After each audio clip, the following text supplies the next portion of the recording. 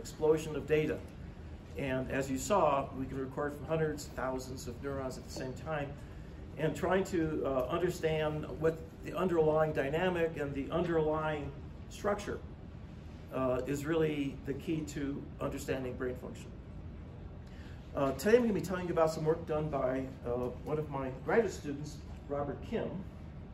And it has to do with trying to understand the dynamics of populations of neurons in the prefrontal cortex. We're going to be using reservoir computing, and this has now been very well developed by several groups, uh, including Larry Abbott. Uh, and, and the way it works is that you have a, a recurrent neural network, uh, and you have uh, input units, you have inputs to the uh, recurrent network, and you have outputs. And these uh, connection strengths are, are learnable or fixed. And, uh, and you can get uh, really quite remarkable transformations uh, in terms of the uh, ways, the FORCE learning algorithm, for example. Uh, and these are continuous, uh, these units have continuous variables that are representing the activity of the each unit. And then there are uh, parameters that have to do with the, uh, the input units U, the output units W, and then the recurrent networks W. Uh, J in this particular diagram. Now, the, the, what we'd like to do is to study, uh, uh, unfortunately, what, you know, you, you can get this network to uh, do a task, but the question is how do you compare it to spiking neurons? So what we'd like to be able to do is to transform one of these recurrent networks with continuous values to one with spiking units. And there are a variety of ways that that can be done, and there's a very nice review paper by Larry, uh, was published in Nature Neuroscience uh, a couple of years ago. So Robert in my lab uh, has discovered a, a, a, very simple way of doing this. Uh, and one of the one of the motivating principles is to try to uh, reduce the number of units, spiking units that you need to replicate a continuous unit. A continuous unit is an average firing rate, and if you have a spiking unit that is very sparse in terms of the number of spikes, you, you, you might you know, get a lot of noise. And so this is typically have many, many more spiking units to represent a continuous uh, network. But Robert was able to show that it is possible to take a re trained recurrent network and be able to replace each of the continuous units one for one with a spiking unit in order to solve a task. So here's a very simple task. We train a network to take an input, simply to integrate it and produce an output that's the integrate, the, uh, the area under that uh, pulse. Now, if you replace every unit one for one and keep all the weights the same strength, it doesn't do very well. Uh, in, fact, uh, it, it, there's a tremendous amount of variability. Uh, it's chaotic. However, if you reduce the strength of each of the units uh, in, in the uh, recurrent network and also on the output, then you can reproduce the output uh, very accurately. You have to reduce the strength by a factor of 50, 5 0. Now, why would that be? Well, an average firing rate is a number that extends over the whole interval for example, 100 milliseconds. Well, uh, when you have a spike, that spike occurs at a single time, but if you, if you want that to represent an average over the interval, you've got to reduce the strength so that it gives you an average. And it turns out a factor of 50 is just about right. And, and this is very robust. We have a paper in PNAS which uh, gives all the details. you know, it's, it's, it's really remarkable. I, I would have never guessed that if this could be done so simply. But now we'd like to use this new approach to try to uh, look at a particular uh, task that monkeys have been, uh, the kind of task that a monkey would, would want to be able to do to be trained. Uh, and so here's, here's a, a, task, it's a temporal exclusive OR task, where you get two stimuli that come in at two different times. If the two stimuli are both positive or both negative, then you should, uh, the output should be positive. but if they have opposite sign, the output should be negative. And so we trained up a network to do this. We also, by the way, uh, made each of the time constants for each of the units trainable. And here's the uh, histogram of the time constants that were needed to, to solve that problem. We can also, now having trained it, uh, as you can see, it's doing pretty well. We can look at the trajectory, and, and when it reaches the first uh, input, you can see that that trajectory separates according to whether it's positive or negative, to the right or the left. And then similarly, when you come to the second stimulus, it will also separate uh, in the third dimension, which is the one that is responsible for the output. So, so it's, it's for small networks like this, we can interpret it uh, fairly well using dynamical methods. So now comes the monkey data. This is uh, from a, a, public data set from Constant, Constant Enidis uh, here uh, et al which consisted of 388 recorded neurons from four monkeys doing a working memory task, which is delayed match to sample. So the task consists of uh, a fixation period, a stimulus comes on, and then uh, there's a delay period of a second and a half, and then the sample comes up and it's either in the same position or a different position. And if it's in the same position, the monkey moves the aside one direction. If it's in a different position, moves it in a different direction. So it has to remember where the stimulus was uh, and then to uh, re uh, respond appropriately. So here is our uh, DMS task for the uh, exactly the same uh, procedure. Here's what the network looks like after it's been trained up.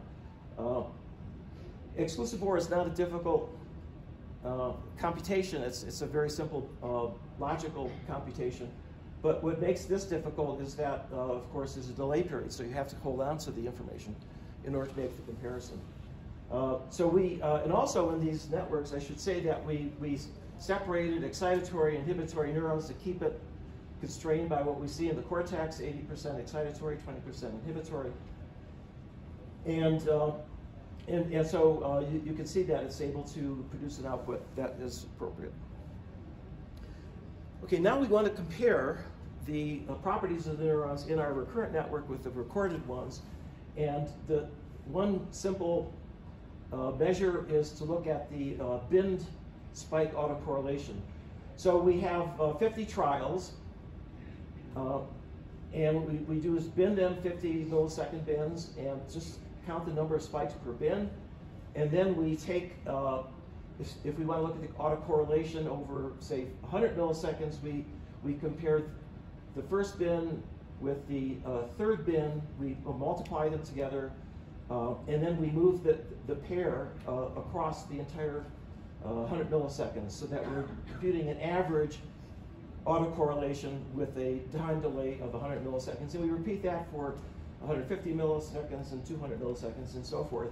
And as you can see, in this particular, for this particular network, uh, we can fit an exponential to it, and it has a decay of about uh, time constant of about 177 milliseconds. And now uh, this is for a uh, trained network. Let's compare it to the uh, experimental recordings. And in order to make the comparison, uh, uh, first of all, look at the histogram here of, of, the, for each unit in the dorsolateral prefrontal cortex, what was their autocorrelation. And you can see there's a, a median here of about 100 milliseconds, and there's a broad peak.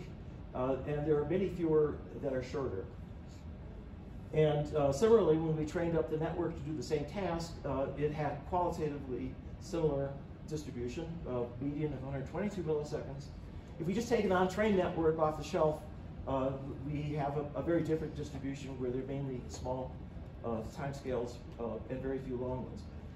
Now, we also wanted to compare two groups, short group and the long group, and so we're going to separate them into the, the short ones, which is the ones that were uh, in the, the, in the first third of the uh, intervals, and then the long ones for the, uh, the, the, third uh, third. And, uh, and you can see the uh, shorts for the recurrent network and the dynamic and the, prefrontal cortex recordings were on the order of 68, 69 milliseconds, which is comparable, and same for the uh, long the group. It's 133, 131. So you know it's interesting that we have a way to to sort of see the distribution, not just one time constant, but to look at the distribution.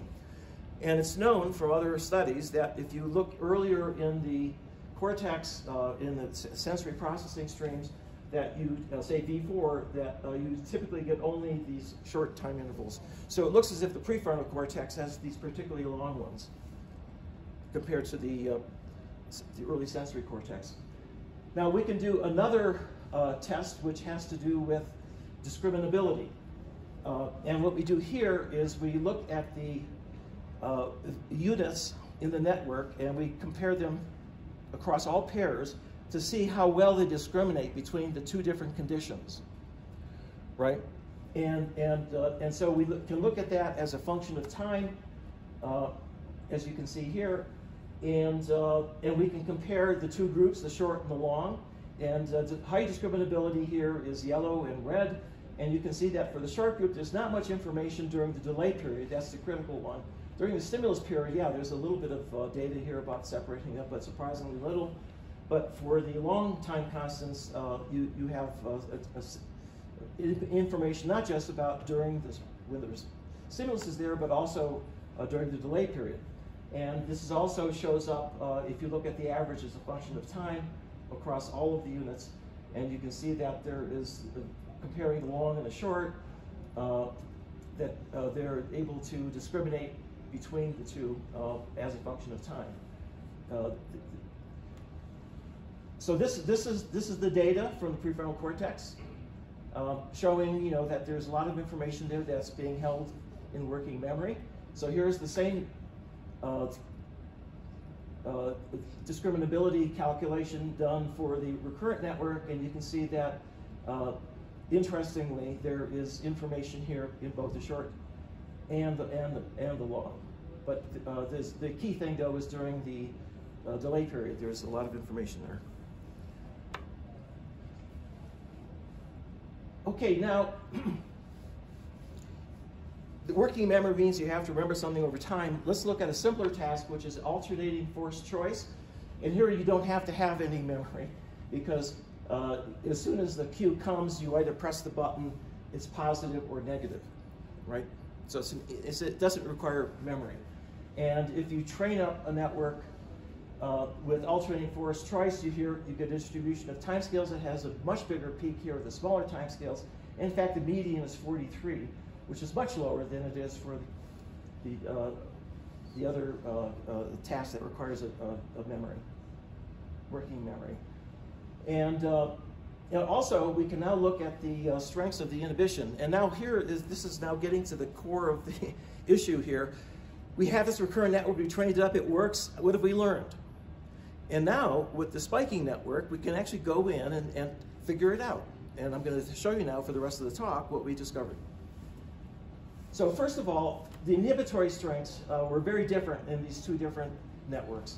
The delayed match of sample had much stronger uh, inhibitory strengths. And by the way, there are, there are connections between the inhibitory units as well as between the, the excitatory and inhibitory units and the excitatory and excitatory. And uh, one of the things that we wanted to test was what if we disrupted those connections, uh, how would the time scale change? And uh, basically, uh, it turns out that the only set of connections that are disrupted, if you, uh, if you shuffle them, is the I to I, which is interesting. So it's not the uh, interactions between E and I that are the critical ones for maintaining the time scale. Somehow with the I to I, that, that, that the sub uh, network within the recurrent network seems to be particularly important.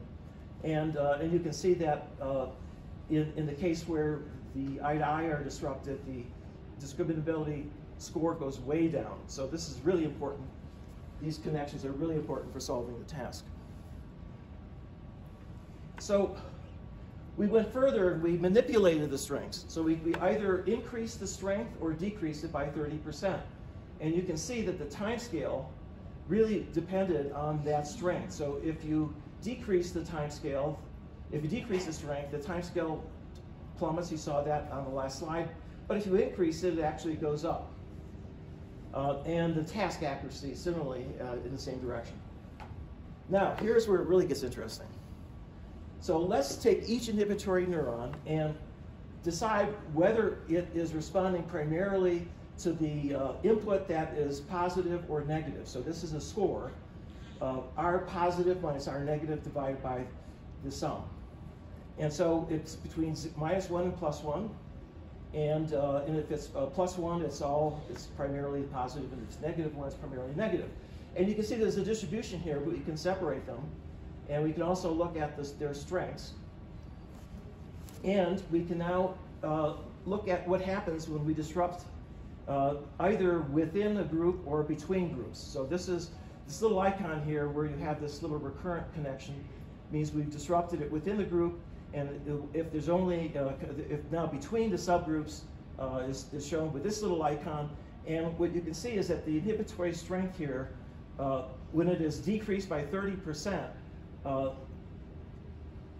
when it is yeah decreased by 30% within the group, it really affects the, uh, the task accuracy much more than uh, across subgroups. So this is telling us that there's something important about those subgroups. And so this gives rise to a hypothesis about what's really going on in this network. It's basically disinhibition. So here's the input uh, to, uh, to both subgroups. Uh, and let's say that the input comes into this, uh, the, the, the, dark subgroup and starts activating these inhibitory neurons. Well, these inhibitory neurons in subgroup one, negative, are going to inhibit the other subgroup. And when this is inhibited, it's going to disinhibit the excitatory neurons for, for this uh, set of uh, excitatory neurons. And during the delay period, that actually increases in firing strength. And vice versa when the input activates primarily this subgroup. So this is an interesting uh, concept because previous models of working memory, and there are a couple of them which are reasonable ones, but the, the Xiaojing Wang had a very nice model in which it was the strengths of positive excitatory connections between pyramidal cells that were responsible for maintaining an upstate this is a very different one. It's, mean, it's, it's telling us that the inhibitory cells may be structured and that they have little compact subgroups. And that uh, if you look at the logic here, this is a flip-flop circuit, basically, figuring out which of the subgroups this has the most activity. And of course, this could be generalized from two to more subgroups. Now, we, there's something else that uh, was really interesting. Again, it wasn't something we expected. So we have spikes, so we can look at variability of the spikes. And there are two you know, types of uh, variability. Uh, in the low variability case, uh, from trial to trial, we're talking about trial to trial variability, if it's low, uh, then the Fano factor is going to be low. Uh, here we're looking at the total number of spikes across trials. Variance is 0.5, and that has a low Fano factor, variance over mean. However, if there's high variability, if sometimes you get a lot of spikes, and sometimes no spikes, and sometimes one or two spikes, Fano factor is much higher. And what we found was that uh, the it, not only was the Fano factor uh, really quite uh, high in, in these networks, as you'll see, but it also was highly correlated with the autocorrelation. The higher the Fano factor, the higher the autocorrelation. So here's the data from the uh, prefrontal cortex showing the distribution of Fano factors and comparing uh, for the, both the short and the long. Uh, and here you can see that uh, comparing the short and the long, uh, the, the, the long, there, there's more longs uh, than there are shorts. I mean, for, for high Fano factors. And similarly, if you look at the recurrent network, it's even more obvious that the, the longs really have the highest Fano factor. So it means that the, uh, these uh, inhibitory neurons that are responsible for uh, being able to carry the information forward in time have a, a tremendously high uh, fluctuation in terms of the trial-to-trial -trial variability, which is actually seen in recordings from inhibitory neurons in the prefrontal cortex. Several groups have reported this, which is, which is you know, otherwise, what would it mean if you just saw that? In fact, it, my interpretation would be to say, well, the inhibitory neurons must not be important if, if sometimes they have a high activity and low activity. Well, you have to look at all the neurons and you have to see how they're interacting in order to understand what's, what, what that means. Uh, and, and now just to, to do it quantitatively, here's the Fano factor as a function of time scale uh, for both the uh, prefrontal cortex and the recurrent network, and they're both very highly significant. So this is, and you can see that, was, that there is not, this is the trend, but uh, there's variability in the variability. Okay, so let's ask the question of what's driving the variability. And again, uh, what we can do is to uh, manipulate uh, by plus or minus 30% the strengths of all the connections in the different groups. And the only one that changes the Fano factor is the I to I group. So it really is the eye to eyes. Eyes, the eyes have it. Eyes to eyes. That's that's. It's really interesting. I mean, you know, it means that we, we've been ignoring, we've been paying attention to all these pyramidal cells, you know, the, the power hitters, and we've been ignoring the, the, the you know, the, the, the, the, the, inhibitory cells, which really are the ones that are uh, calling the shots, at least in this particular re recurrent network. Uh, and here's what it looks like for a particular cell, a particular inhibitory neuron.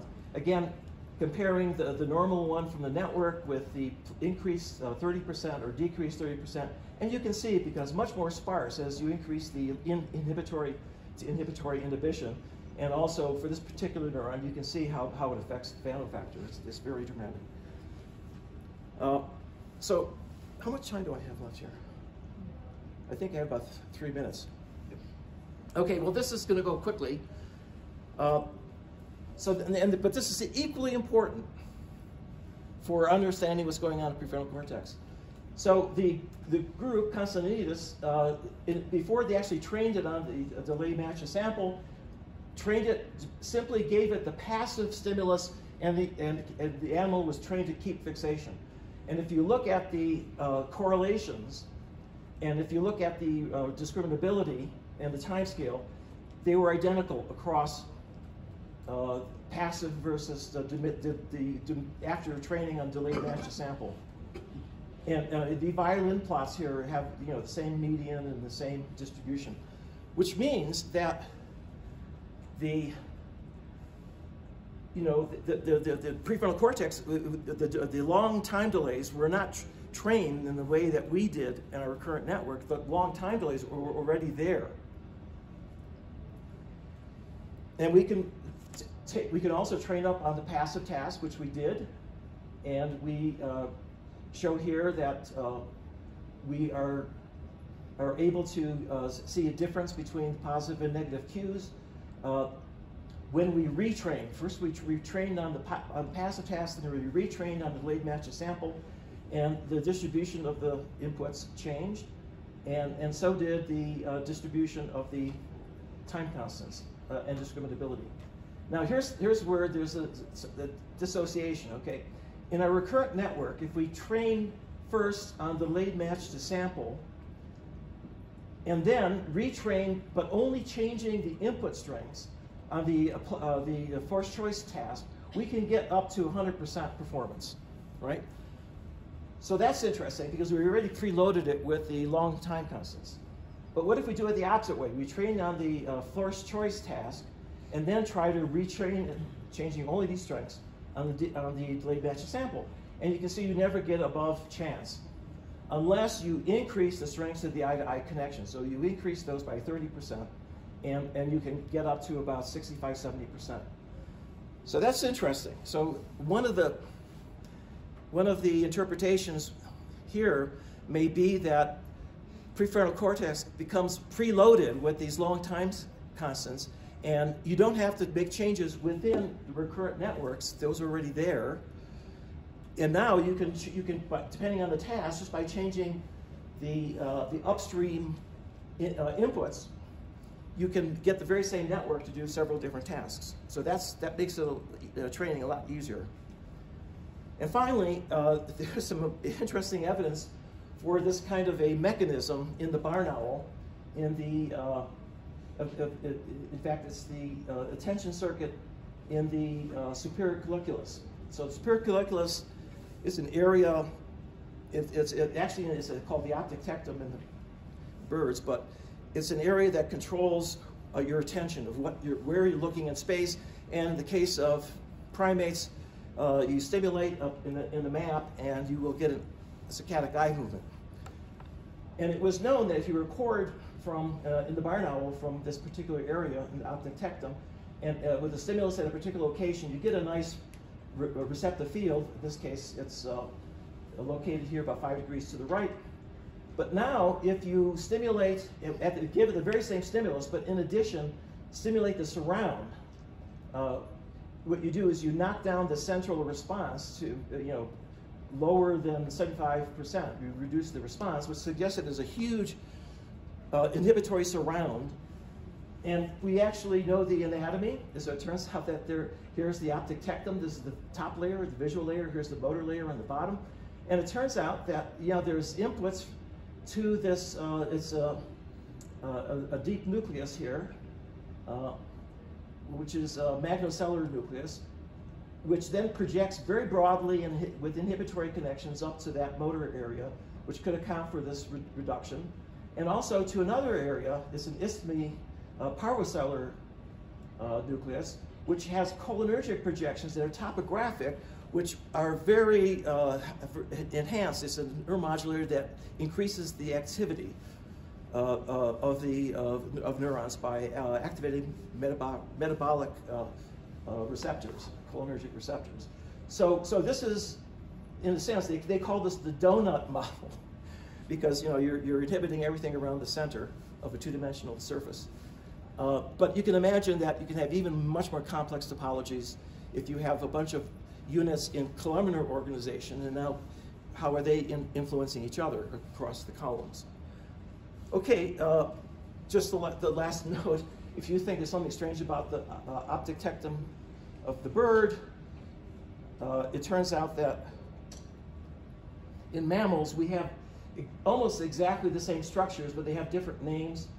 Uh, this is the uh, parabigeminal nucleus, which is like the the uh, IPC, and uh, you have similar uh, layered structure within the superior colliculus. And by the way, be before the cortex appeared, this was the primary way that you know, sub, sub-mammalian species actually integrated information about the world and decided whether they're going to, you know, either approach or, or, go away from a particular target. Okay, well, thank you very much for your attention, and uh, I want to thank uh, Robert for the great work he's done.